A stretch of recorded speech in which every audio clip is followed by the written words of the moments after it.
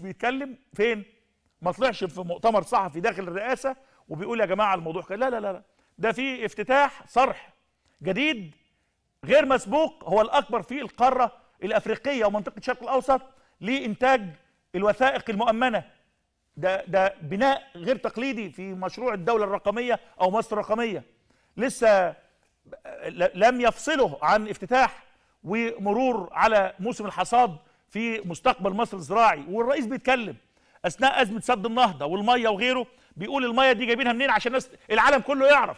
مهم جدا العالم كله يعرف. طب أنتوا يا عم فين؟ بتزرعوا مليون فدان ودلتا جديدة وانتوا بتقولوا ما عندناش مية وبتقولوا خايفين على المية. آه بقول لك آه المية دي المية من الصرف الزراعي والصرف الصحي والصرف الصناعي بيعاد فلترتها بمليارات علشان خاطر ما ضيعش نقطة مية واحدة. استشعارا مني بأهمية المية استشعارا مني إنه أنا دولة دولة آه، آه، شحيحة المياه إن أنا عندي فقر مائي داخل على فقر مائي شديد جدا. بحاول أقرأ المستقبل. أنا من الدول الأولى في المنطقة في المنطقة والقارة الأفريقية اللي عندها امتياز تاخد امتياز في الاستخدامات الاقتصادية للمياه. فبالتالي أنا ده بدي رسالة للعالم. بقول لهم أهو أنا لا اهدر نقطة مية واحدة.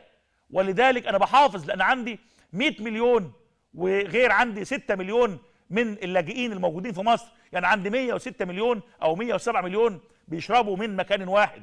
إحنا بنقول إنه ما يجري الآن من محاولات لتضميد الجراح ومحاولة لم الشمل ومحاولة نزع فتيل الأزمة ليس لمصلحة مصر والمصريين فقط وإنما لمصلحة المنطقة والعالم ومنها القارة الأوروبية وأنا قلت هذا الكلام وبعيده تاني رغم الانتقادات الحادة إلا إني بقول تاني لو الشعب المصري وأنا آسف إن شاء الله لا, لا يقدر الله أن يحدث هذا أو الشعب السوداني أدعو الله أن لا يحدث هذا تعرض لجفاف وتعرض لبوار وتعرض لتشريد هيروح فين؟ هيروح فين؟ هيطرق الأبواب الأوروبية وأنا بقول تاني بحذر تاني بقول أي محاولة لإمساك العصا من المنتصف وأي محاولة لتسويف أو تأجيل الحل.